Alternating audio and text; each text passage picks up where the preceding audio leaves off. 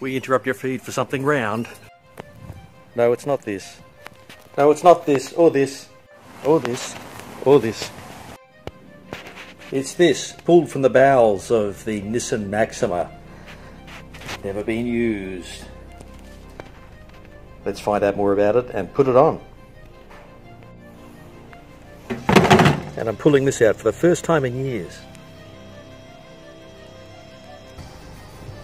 First things first, let's pull this thing out and put it on some solid ground.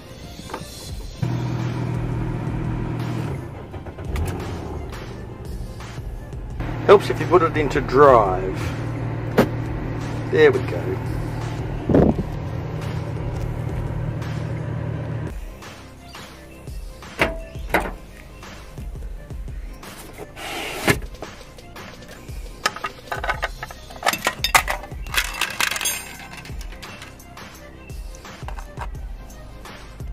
Plastic.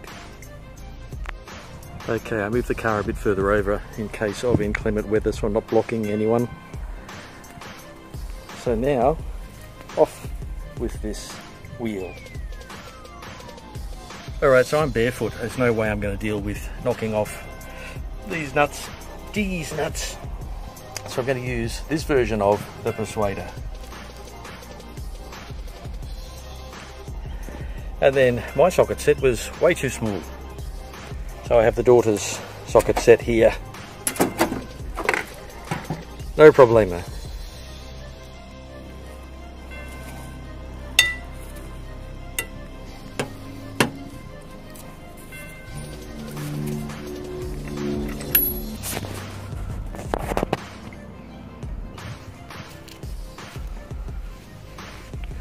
Safety first.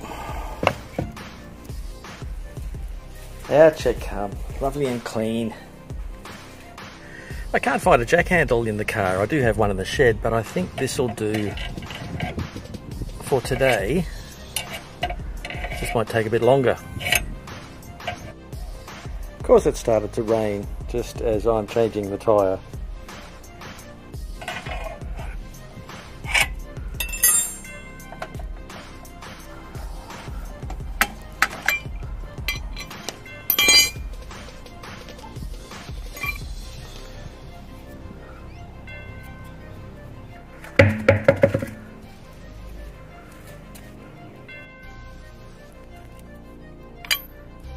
Okay, they're on tight, but are they tightened down to the specifications? And in the manual it says 108 newton meters. So thankfully, after having this for about 10 years and using it once about 10 years ago, I have a use for it. So I've lined up 108.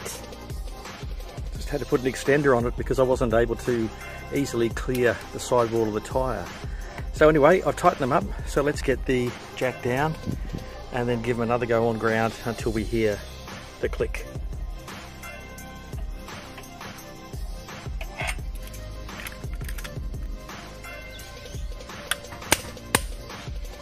Guessing that is what you line that up with.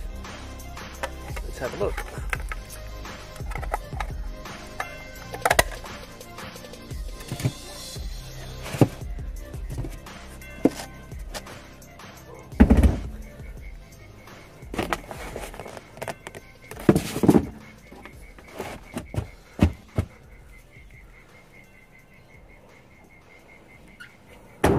And with that, the tyre is changed on the front of the Maxima. I'll put the Smart back, and then the Maxima we'll have a good looking at on Wednesday by the man who knows, my mechanic.